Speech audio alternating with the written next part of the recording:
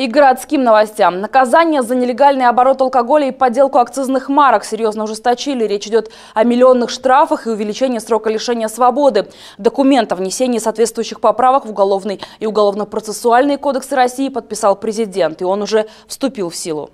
Но забайкальским предпринимателям от этого не легче. Они выступают за увеличение разрешенного времени продажи спиртного до 11 часов вечера. Объясняя это тем, что сегодня в Чите, по их подсчетам, около 120 серых торговых точек. И содержимое бутылок в этих магазинах редко проверяют. Если даже взять бутылочку в 1 миллион в месяц в них э, в этих во всех точках, и наценку, я думаю, процентов 50, потому что закупать нелегальный алкоголь гораздо дешевле, чем тот, который закупаем мы, то прибыль этих товарищей составляет 60 миллионов.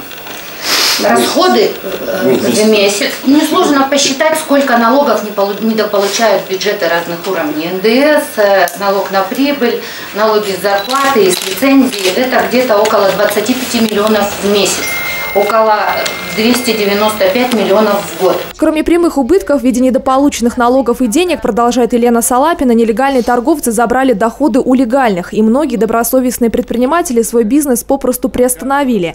В городской думе депутаты сошлись на том, что пока стоит дать возможность новому закону об ужесточении наказаний за нелегальный оборот немного поработать. На сегодняшний момент я не готов голосовать за увеличение, вот такое именно увеличение времени э, работы, это с 8 до 11, да, понимаю, что время э, нужно менять, менять, но в каких рамках, э, пока я для себя не, лично для себя я не определился. Добавлю, что сегодня за незаконную продажу алкогольной и спиртосодержащей пищевой продукции, если это произошло неоднократно, штраф 80 тысяч рублей. За использование заведомо поддельных марок для продажи алкоголя и табака лишение свободы на срок до 8 лет со штрафом от 700 тысяч до миллиона рублей.